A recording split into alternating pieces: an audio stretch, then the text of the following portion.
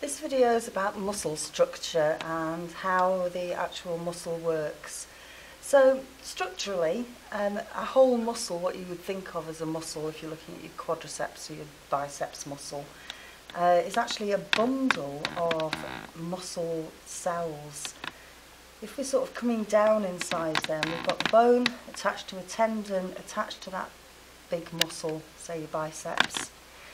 You can see that this is made of lots of little bundles and those bundles are themselves made of bundles and what they're made of bundles of is uh, muscle cells. So this is a muscle cell. The muscle terminology tends to begin with myo or sarco. So for example, we don't call the cell membrane this plasma membrane, it's called the sarcolemma. We've got, instead of endoplasmic reticulum, we've got sarcoplasmic reticulum. Each muscle cell, you can see, is also made of little bundles of uh, units called myofibrils. And a myofibril is actually the functional unit of a muscle. It contains two sorts of filaments, thick filaments which are made of myosin and thin filaments which are made of actin. These uh, myofibrils look stripy just because of the arrangement of actin and myosin inside them. So if we look at the arrangement of um, actin and myosin inside one of these um, myofibrils, myofibrils are very long and they're divided uh, into what we call a functional unit called a sarcomere. Again, we've got that word sarco meaning muscle. The sarcomere runs between a Z line and a Z line, and these are the uh, structures that the actin filaments, the thin filaments, are attached to.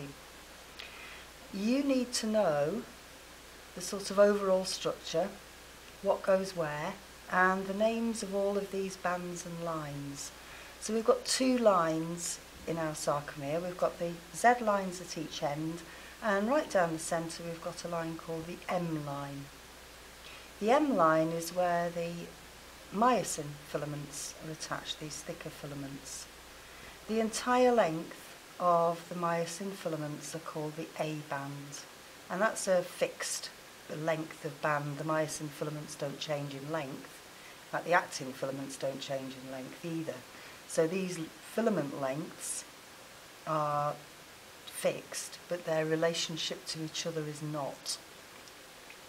Where we only have myosin, that's called the H band, and where we've only got actin, straddling that Z line, we've got the I band.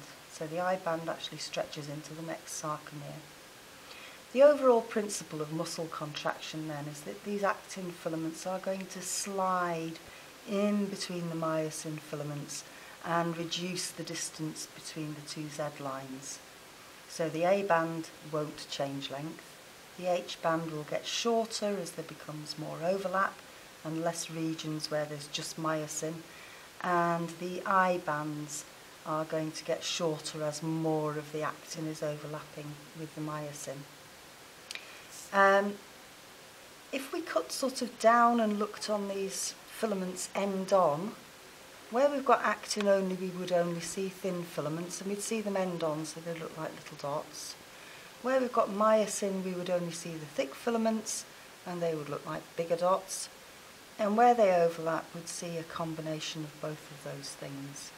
So that's the sort of structural stuff that you really have to know and then we can look at how muscle actually works, how those filaments actually do slide in between each other.